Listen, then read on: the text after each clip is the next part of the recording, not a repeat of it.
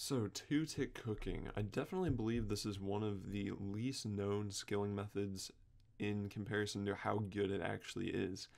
Two tick cooking, AFK cooking is four tick cooking. A lot of people know about one tick cooking karambwans. Maybe even some people know from back in the day 3.5 tick cooking. Three people used to 3.5 tick cook sharks, but that's barely any faster than four tick and quite a bit more effort. But this method, I couldn't even find a guide on it and it's twice as fast. The cooking itself is twice as fast as tick or AFK cooking. Now, obviously, the max rate isn't quite twice as fast because you have to take into account banking is the same speed for both methods. So the great thing about this method, unlike the one-tick karambwans, is it works on literally any food in the game at any cooking level. Now it doesn't work with karambwans, but obviously you have the one-tick method for that, which is quite a bit faster. Um, so uh, the method itself is quite simple if you can't see it uh, in this sped up comparison footage of the 4-tick and 2-tick methods.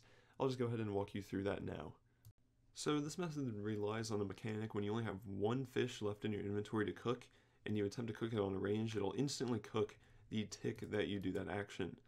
So all you need to do is get out 28 fish, drop it all right next to a range, should only take you a couple of seconds, and then just leave one left in your inventory, and then all you need to do is alternate back and forth every tick between cooking it on the range and picking it up.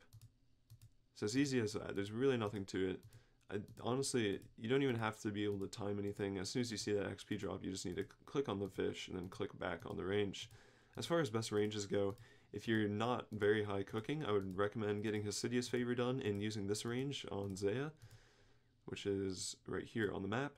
Or if you have very, very high cooking and you have them unlocked, I would recommend using the Mor Ul Rek range or the range in the Myths Guild, which are, you don't even have to move away from the banks. All you have to do is bank and then drop and cook them. That's all that you really need to know for the actual method itself, but if you're a person who likes to look at some rate comparisons, then here's a rate comparison.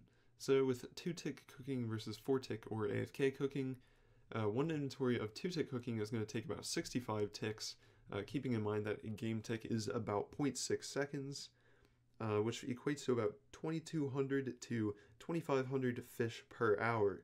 So for example, let's say you're cooking sharks, that's going to be a max XP rate of about 525k XP per hour. Pretty insane. Uh, with 4-tick or AFK cooking, uh, we're going to look at one inventory being about 111 ticks, which will equate to about 1350 to 1450 fish per hour.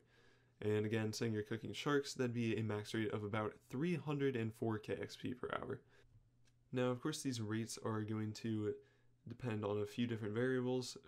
First being what your cooking level is, which will affect how many you burn, and second of all, what bank you are using and how quickly you can bank. Say, for example, you're using the Zeah range, so that you burn less food, you're going to have to run to the altar, which is going to take a couple of ticks, as opposed to if you're using the TzHaar cooking range and you literally do not have to move to reach the range. But anyways, with these max rates, we can deduce that 2-tick cooking is about 1.73 times faster than 4-tick cooking, which is a lot faster for not very much more effort. So yes, as you can see, this method is so quick and easy, especially at the Myths Guild Bank. Um, but yeah, hopefully you guys did learn something new and do hope you enjoyed the guide and can put this to good use.